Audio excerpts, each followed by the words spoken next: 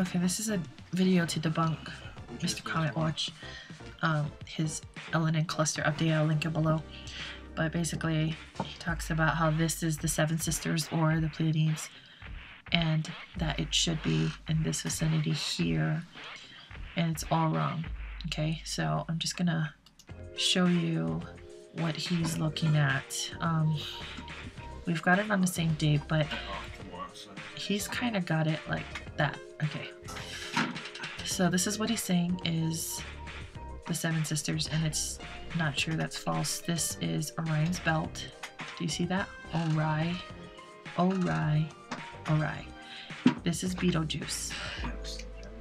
Now, Orion's belt points to Taurus, and in Taurus, you have the Pleiades constellation, or whatever you want to call a star cluster, in the shoulder of Taurus.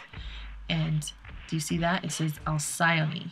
That is one of the sisters of the Pleiades. So, um, if that's not proof enough, I'm sure you guys remember this, right?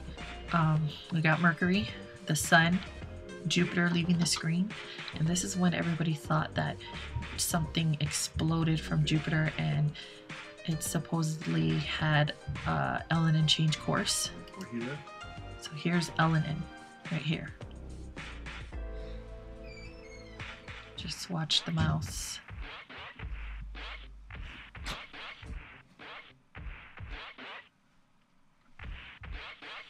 Okay, now there is the star cluster, the Seven Sisters. So if that's Elenin, then how the hell did it get all the way over here that quickly and disperse? Another thing I want to show you is this. This is taken May 24th, 2004, I believe. Let me go back and just show it to you folks. Yeah, oh, okay, 2000. So May 24, 2000, this was taken, and this shows the same exact star cluster. And here is a picture of the star cluster as well.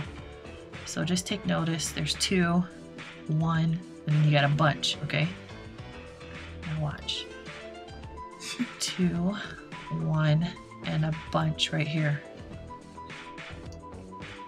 See? Two, one, there's a bunch, and there's even one down here, so I'm sure you'll see that. That's the star right there. Okay, so that's basically it. I don't know if that's not proof enough for you guys. I have no idea what is.